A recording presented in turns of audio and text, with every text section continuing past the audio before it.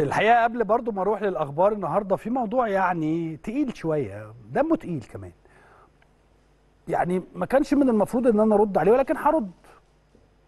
لأنه النادي الأهلي أكبر من هذا الأمر ولكن الحقيقة هو موضوع كوميدي شوية كوميدي حبتين يعني. لما نجم كرة كبير وعضو مجلس إدارة في نادي كبير يخرج على الهوا يقول لك أصل قرعة الدوري متظبطة للأهلي.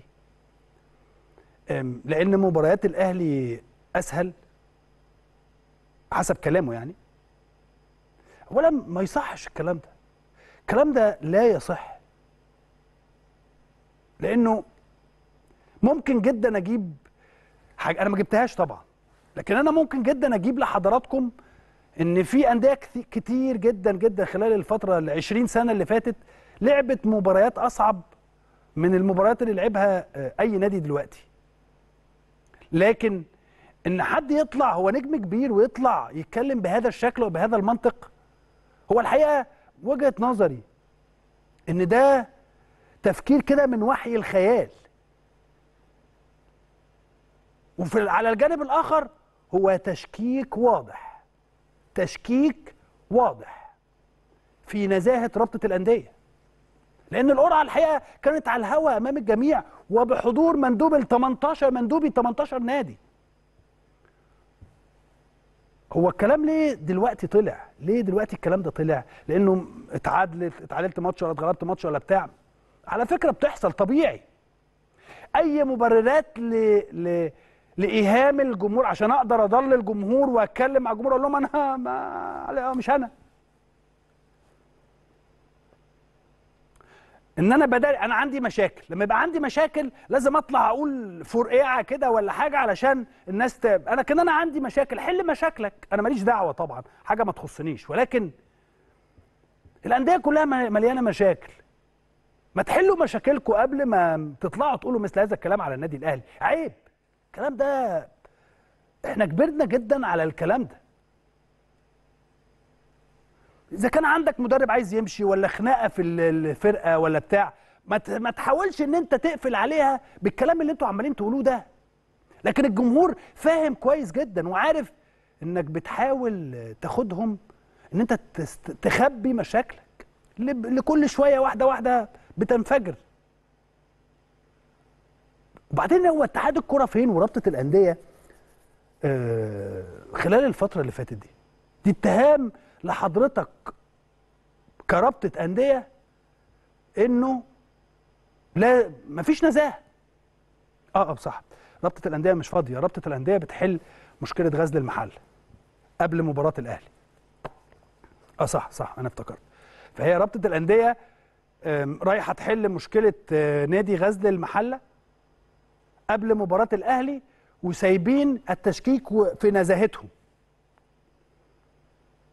حتى يعني أعتقد حتى لو حضرتك مشغول لو حضراتكم كرابطة أندية مشغولين بهذا الأمر كلهم أصدقائي وكلهم إخواتي أستاذ أحمد دياب الكابتن عماد متعب أستاذ عمرو الأستاذ عامر حسين الأستاذ ثروت كابتن ثروت- الاستاذ ثروت سويلم كلهم إخواتي بالمناسبة ودائما على تواصل دائم بيهم وناس محترمة جدا وفوق الوصف ولكن أنا نفسي بس حد يطلع معايا يشرح لي كل هذه الأمور.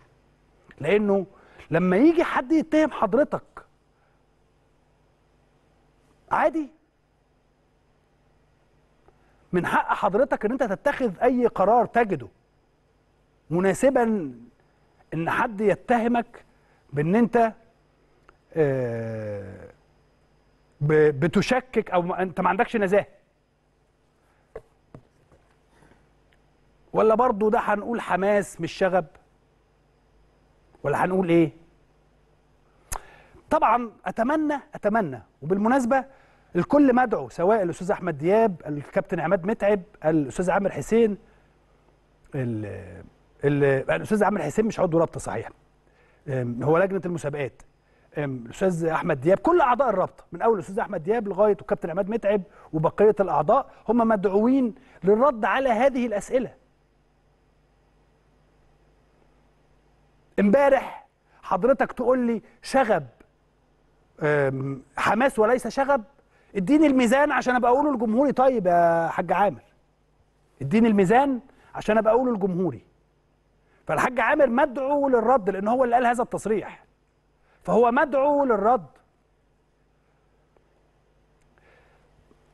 حلو جدا ان رابطة الأندية تحاول ان هي تحل مشاكل الأندية ولكن هو مش دورها بالمناسبة هو دورها دور مجالس الإدارة أكتر ان هي تحل مشاكلها. فالحقيقة الأسئلة كلها اللي عايزين نسألها لحضراتكم والكل مدعو كلهم إخواتي وأصدقائنا. وعلى فكرة ناس محترمة جدا جدا جدا الأستاذ أحمد دياب كابتن عماد متعب طبعا كلهم كل أعضاء الرابطة إخواتنا وأصدقائنا وكانوا ضيوفنا هنا في هذا البرنامج وأنا بدعوهم للرد على ما عنديش خلاف شخصي مع أي حد فيهم ولكن أنا بدعوهم للرد على مثل هذه الأسئلة كيفية التفرقة ما بين الشغب والحماس علشان أقول لجمهور الأهلي مش عشان حاجة عشان أقول لجمهور الأهلي لا، يعني وأنتوا داخلين الملعب خلي بالكم. دي الحاجات اللي تقول إن دي إن ده شغب ودي الحاجات اللي تقول إن ده حماس. ده الموضوع الأول. الموضوع الثاني هل عندما يتم التشكيك في نزاهة الرابطة عادي؟ ما ينفعش أخد قرار؟ عادي جدا. لو حضرتك قلت لي عادي خلاص. وجهة نظرك. طيب هل لو مسؤول نادي آخر أي نادي من ال 18 نادي قال هذا الكلام حضرتك ما كنتش هتاخد قرار؟ ومن أول الموسم ومن أول الموسم الكل بيحاول إن هو أو كل الأخبار اللي جاية والرابطة تحديدا اتكلمت في موضوع ضبط الأداء الإعلامي لمسؤولي الأندية. يعني هل من المفترض إن إحنا طيب هل في لائحة لمثل هذه الأمور؟ عشان بس أنا أبقى عارف و... وآخد الورقة دي وأمسكها وأقول لا والله في هم قالوا إن ما فيهاش مشكلة قالوا كذا قالوا كذا. ولا نعتبرها حماس زايد. قولوا لنا. فأنا أدعو الجميع أي حد من أعضاء الرابطة ومرة تانية كلهم إخواتنا وأصدقائنا يطلعوا يردوا على هذا الكلام. مش عايزين يردوا عندي في هذا البرنامج. يا ريت يطلعوا في أي مكان آخر. أنا حاولت الحقيقة إن أنا أتواصل معاهم و يعني التليفونات مقفولة غالبا يعني. فأتمنى إن شاء الله إن كل الأمور دي يتم الرد عليها. عشان أطلع بس أقول لجمهور النادي الأهلي يا جمهور النادي الأهلي خلي بال حضراتكم الفارق ما بين الحماس وما بين الشغب كذا وكذا وكذا. ده بناء على آم، رأي رابطة الأندية.